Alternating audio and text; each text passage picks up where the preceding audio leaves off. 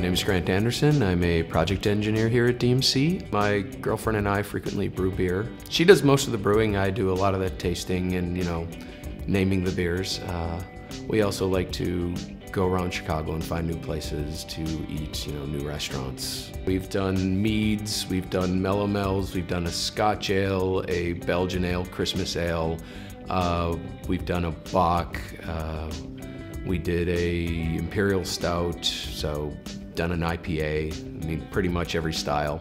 The most unique experience at DMC uh, would probably be the uh, environment here compared to the environment at my old job. Uh, we have much more of a community here, lots of uh, social events we do together. There seems to be a lot more camaraderie.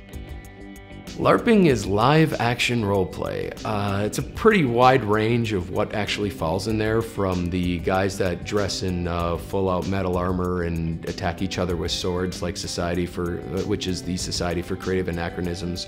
There's also what are known as boffer LARPs, which is similar idea, but they attack each other with foam swords and shields. Most of what I do is uh, closer to basically improv acting, but with a you usually have a little mechanics behind to resolve any conflicts, and your character usually is a goal.